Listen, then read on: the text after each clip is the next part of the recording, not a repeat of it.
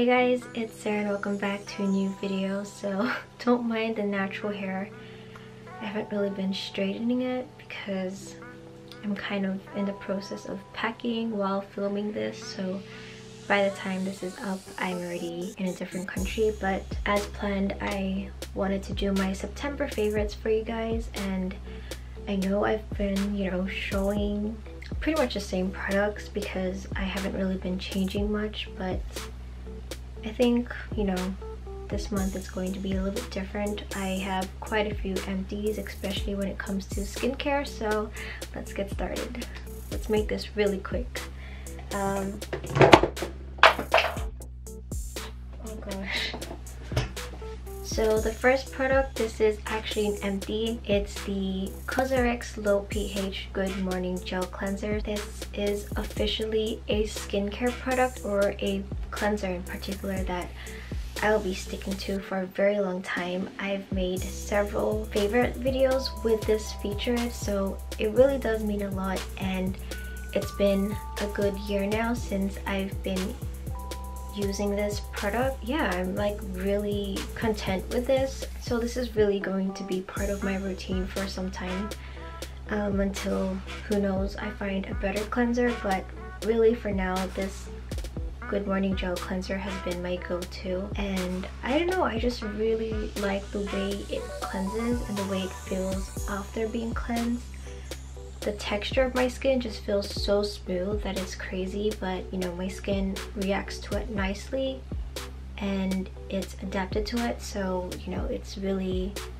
a staple skincare product in my routine now so next here we have the refresh water by Heimish. I only had a little bit left in here but I decided to put it in this little um, seal bag with some cotton pads in it to saturate it for my on-flight pouch.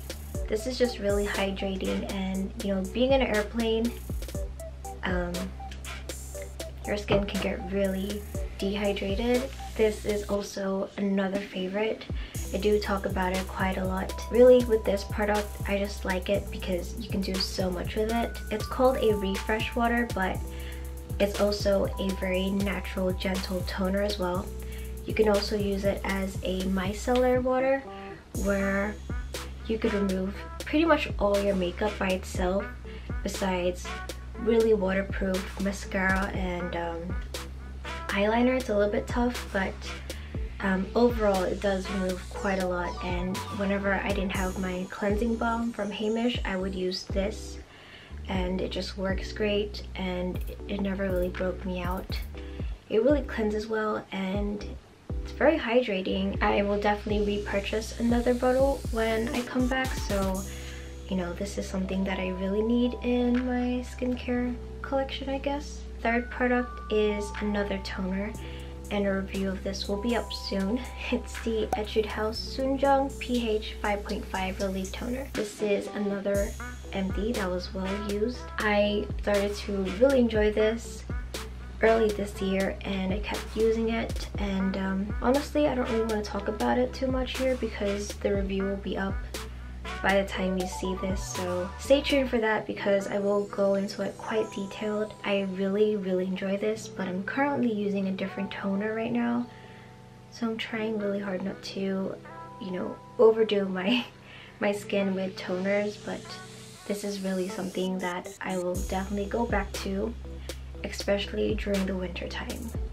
Yeah, so that's that for now. So the fourth product is another empties. Once again, this is the Cosrx Oil Free Ultra Moisturizing Lotion with birch sap. I don't know how many times I've featured this in my favorites. It's actually really hard to get the rest of the remaining um, lotion. I've been like tapping the bottle and doing as much as I can to get really every single product out but this is the best I can do. I've been trying the Benton Cacao Moist and Melt Cream in between just to kind of transition my skin to get used to this lotion but it's not really accepting it. My skin's been reacting to it but it hasn't been breaking out. I just started getting physical bumps around my face from using this lotion so it just shows that for the past year my skin has been well adapted to this lotion. For me, I personally enjoy this lotion a lot more. It's very lightweight, very quick in absorbing into the skin and just very easy while trying out other moisturizers. This feels a lot more better in my personal preference. This along with the toner that I've been using has been working great as a combo so I kind of figured out you know a few products that I should keep as my skincare routine and this is definitely one of them so I have to really repurchase another bottle. I know the lighting is changing.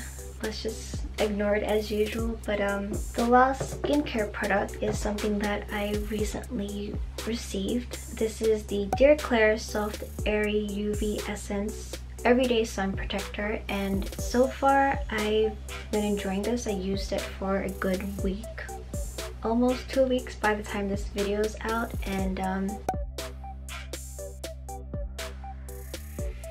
I'll probably do an update you might see it in another favorites. So onto makeup now. The first product is the Moonshot Face Perfection Balm Cushion and I've never really featured this in my channel until now and I've had this for like over a year so this cushion is something that I have been reaching out for lately this past month. While refilming the cushion review video, I just remembered how much I actually really like this cushion and it was such a waste that I never reviewed it when I first got it because I was really excited for this product but then after trying it I wasn't really too impressed like I was like a little bit iffy about this product but you know while using it a few times and later in the year I just really like this product and it just gives a really good finish onto the skin. It's just the overall finish of it that I enjoy the most. So the second product is the Aritaum Pore Master Sebum Control Pact in number one white. I did really favor the Appeal powder fixer, the 24-7 lasting finish powder, which I still have to really use up, but this ever since I got this like two months ago I think from the YesStyle haul I've been enjoying this a lot. And the powder itself just really makes the appearance of your skin look very even and it doesn't really emphasize any skin texture whatsoever. So it makes your skin look quite poreless and I enjoy that because you know it's nice to just have your skin look quite even and the way it makes the makeup set and last longer is great so I have been using this pretty much on a daily for setting my entire face and um, this powder has been doing really good for me. Next is an eyeshadow. I haven't really used this on my channel often. I use it off camera but this is the Missha triple eyeshadow in number 13 Lady Milk Tea and this was like from an old YesStyle haul. Other than a shadow, I've been using this more as a blusher and I know it sounds crazy but it has a very warm um, kind of pink brown hue to it so it works great as a blush. On my skin, it works great as a blush. For the entire month, this has been my blush and um, it just works great and you can actually use each individual color as well for your eyes so it's kind of like a multi-purpose kind of eyeshadow product. The fourth product is not a Korean branded product. I figured that I would include this because I've been using this pretty much almost on a daily for the past month. It's from Maybelline. It's the Curvitude Liner Tracer. I think that's what it's called. I've kind of gotten back into eyeliner because it is a curved kind of bent packaging the way you hold it and draw the line is a lot quicker and easier and the brush is actually a felt tip which I personally prefer I feel like brush tips tend to be a little bit difficult for me to use because the bristles can separate every now and then so I've been enjoying this a lot. And finally, onto the last product for makeup. This is the Peripera Ink Velvet in the shade number 7. I forgot what the English shade name was, but this is a shade that I keep forgetting that I have and then I end up liking it again because it's a really nice pink. On camera, it looks like a dried rose. On my lips, it tends to appear quite more pink um, and I don't really use pink lip products that often so this is like my go-to pink lip shade. Very long lasting and staining as well so um, it's good for very easy, it won't even rub off anymore. Um, it's good for an easy low maintenance makeup. We're actually done with this entire favorites video for September. September empties slash favorites. So um, again, I don't think it may have been too interesting for you guys, but um, I feel very accomplished now that majority of my skincare products have been completely emptied out and used so I'm starting to really settle down on a few products and I'm finally starting to have my own proper skincare routine where I will use the same consistent skincare products. Um, so by then that's when I'll do an updated skincare video but you know I'm getting there so I'm happy.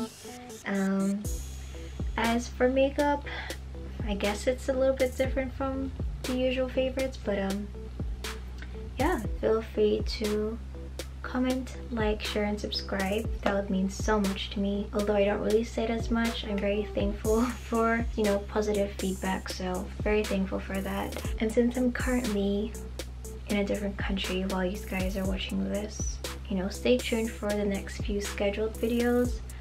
And then I'll be back later in the month. So um yeah. I guess i'll see you guys then until i'm really back and you know hopefully i'll have more content that'll be more interesting for you guys. And um i'll see you guys soon. Bye